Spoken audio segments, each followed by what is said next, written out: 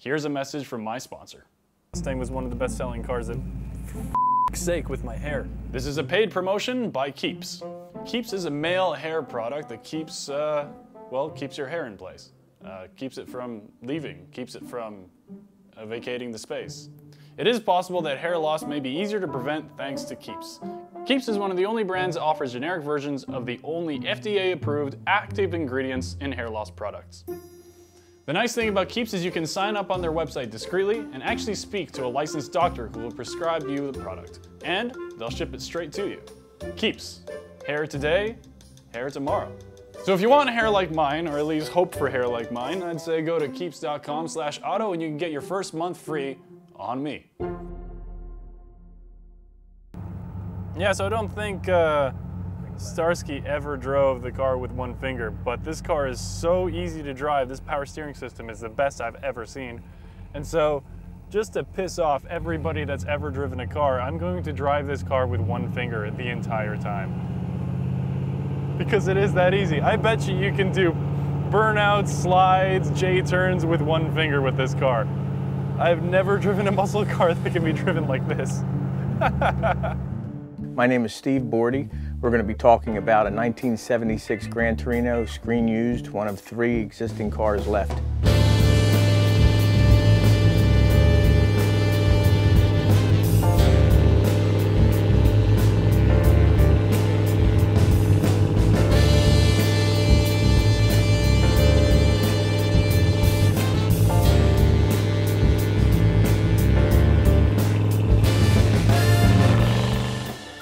Well, I have three right now. One screen used TV show car. I have one limited edition that Ford put out in 76, and I have one replica. You know, there's GM cars I like. I would love to have a 67 GTO, but it seems like every time I get a couple dollars saved up to maybe look at one, another Torino comes along.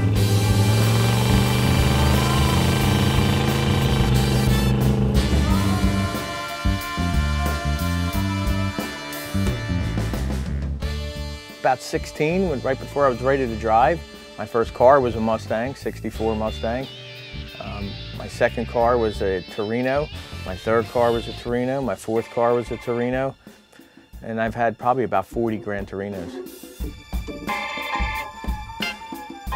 In 1975, when the pilot came out for Starsky and Hutch, the car, something hit me back then with that car, and, and it's never been the same since.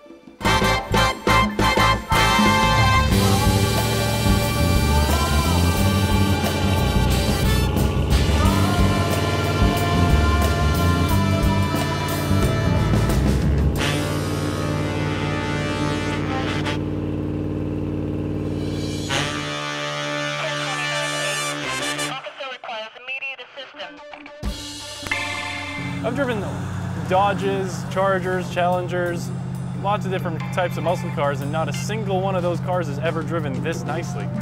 And I'm kind of a Ford guy. I like Fords. I got a Mustang, and so I'm. It, it does me a little bit of pride to be able to drive a Ford Gran Torino that that is one of the best driving muscle cars I've ever been in.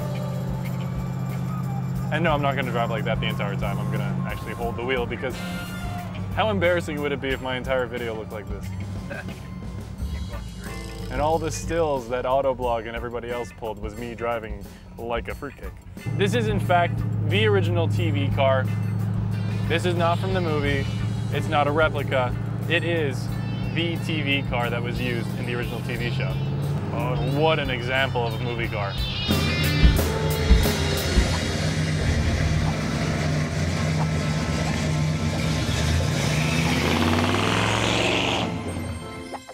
Just watching well, the pilot in 75, and then it became a series in 76. And uh, it was just every week when it came on, I was at my girlfriend's house at the time and just we just watched that. That's where we sat and watched Starsky and Hutch every week. And of course, her family, her brothers, and cousins, and all were Chevy people, so they would make fun of me owning a Ford. You know, had all the jokes about it, but they come to all my car shows now, so. It got me interested in law enforcement. I always wanted to be law enforcement. And eventually I did. I became an animal cruelty investigator working for the police department. Uh, it just didn't work out to me to become a police officer. So it was close enough. My son became a police officer. My brother's a police officer. His son is a police officer. And there's a lot of police in our family. So I started something. I'm learning more and more that a lot of law enforcement professionals, whether it's Secret Service or animal control or just police department, a lot of people love and have one of these cars. Many replicas, screen used. This is an icon in the law enforcement community, and I understand why. It's not the typical Crown Victoria cruise around and bust a couple speeders car. It is a character car. It's a car that has character that speaks of the characters from the TV show.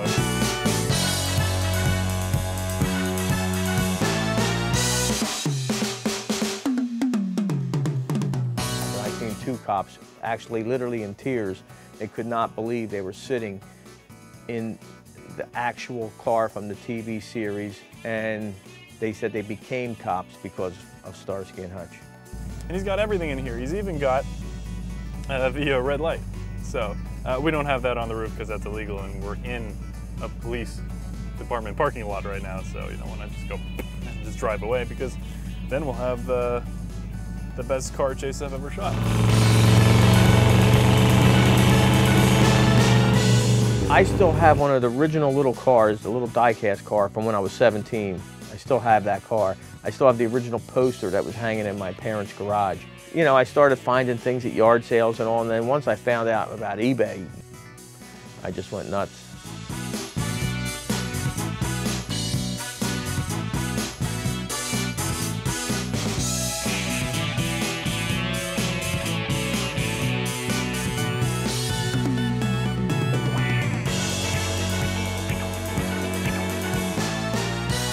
I would think that I have probably the largest collection in the world of Starsky and Hutch memorabilia.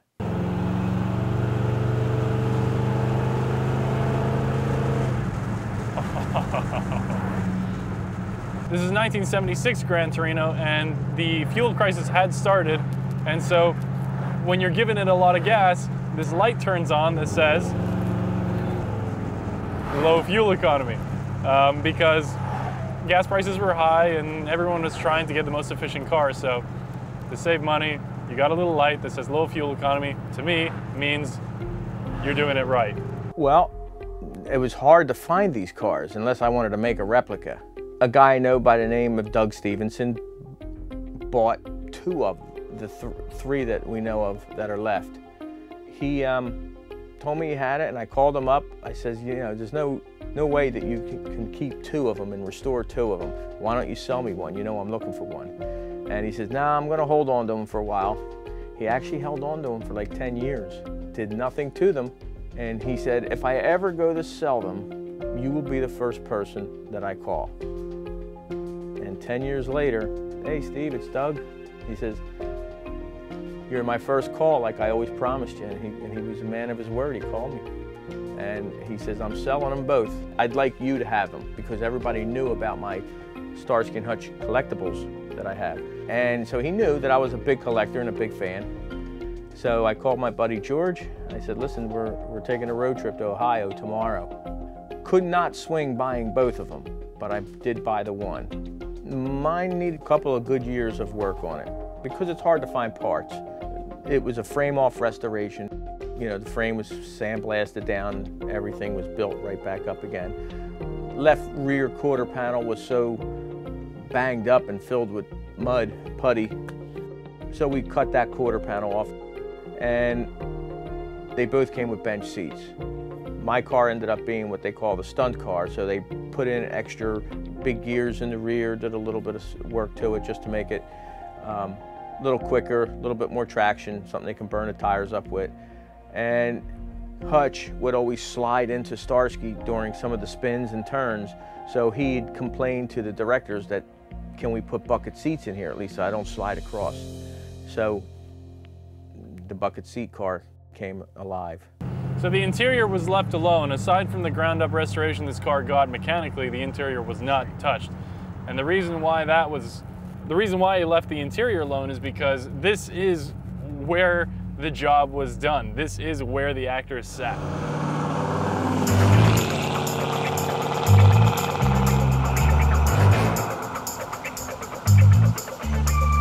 Well, when I had the motor rebuilt, of course, it was built better than factory, a little bit more juiced up. I didn't want, I, I didn't, I don't want it to be a race car. It does sound very good. Fact, Paul Michael Glaser and David Soul just drove that car, and while they were driving it, I was in the back seat, which was a huge thrill of my life. And Paul actually said to David, he said, boy, I wish the car was this fast on the set. I could have wrecked it more. Sometimes when you drive an old car, it doesn't give you a lot of confidence that it's gonna stay on the road. I've had that in a few Dodges. But this car feels like you could pretty much do anything with it. And this was a stunt car, so that makes a lot of sense. Oh yeah. There's a sort of a role reversal. Starsky would usually drive the car, but I'm driving the car. I'm blonde. Steven's dark hair, kind of Italian looking. Well, he is Italian, but um, he should be driving, but in fact, uh, let's say Hutch is driving right now. Well, the movie is what it is. It's not, it's not, I don't think, anywhere close to the TV show. I saw it probably 20 times. Do I own the videos? Yes. I liked it because it was Starsky and Hutch, and I liked the car. I loved the cars. I supplied Hollywood with three of the cars for the movie. So uh, I got a chance to go out on the set. I met Owen Wilson, Ben Stiller, watched how the whole process went down. And um, so it was fun. When they called to buy that car, when the movie came out, from that day on, it opened up so many doors.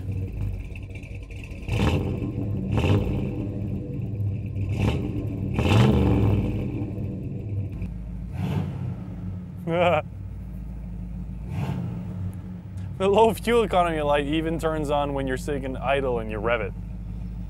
This is very much, I don't want to say a victim, but let's say it's a product of the fuel uh, of the fuel crisis in the 1970s.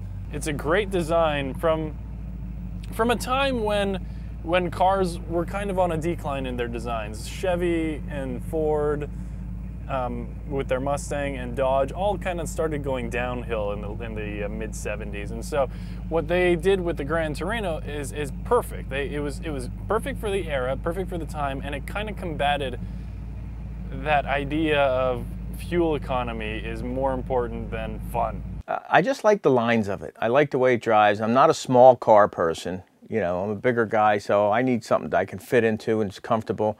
And, and they ride nice. I have one um, that's not a Starsky and Hutch car, and it's a 74 Gran Torino. And it rides like a dream. It's just a, an old guy car with the opera windows in it, but it's all original, 70,000 miles on it, and it just, and I'm keeping it just that way. But I, for, I have a weakness for the 74 to 76. If I had enough money to buy a 72, every time that happens, I'll stumble across another 74 to 6 and I have to buy that one. Oh yeah, because I, I make them mechanically completely sound. Uh, I put a lot of money into them. Um, I detail them all out. I don't paint them up like Starsky and Hutch because I've sold cars out of the country that the guys just loved just the way they are. You know, like a blue Gran Torino or something that went to England. A red one went to Dubai. I've had them go to uh, Japan. I've had them go to England. Uh, so one guy bought two or three from me, from Italy. So I've, I've had them go all over the United States and all over other countries. And when I, when I sell a Torino to somebody and I see their eyes light up when they see it, it's the same way I get. And we joke around. Um, that I says, I, I, now I know where it's coming from. I, I, I, can see that you have the same passion with the car that I do. My wife doesn't understand that, and the buyer's wife never understands it either. So we're in this club of people that that car affected. I mean, when I go out in my garage and I see it sitting there, I still can't believe that I have the actual car from the series, not just a replica, not a limited, the actual car. And I, how, how did I work that out? I don't know. I've met so many really nice people throughout the world uh, on some of the Torinos that I've bought and sold just as a hobby because I like buying them. I like the thrill of buying them and fixing them up. And I like the thrill selling them because I can see the love that these people have for the car the same way I do. And I've had so many people come here to my house that's even spent a weekend here. I've met so many really beautiful people because of the Gran Torinos.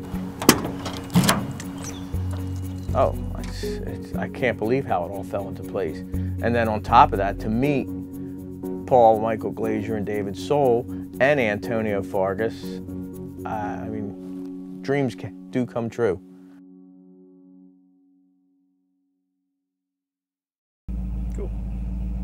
So be sure to like, share, subscribe, and most of all, share it because uh, I want more people to see these videos. So um, up next, I have no idea because I haven't edited it yet. So thanks for watching.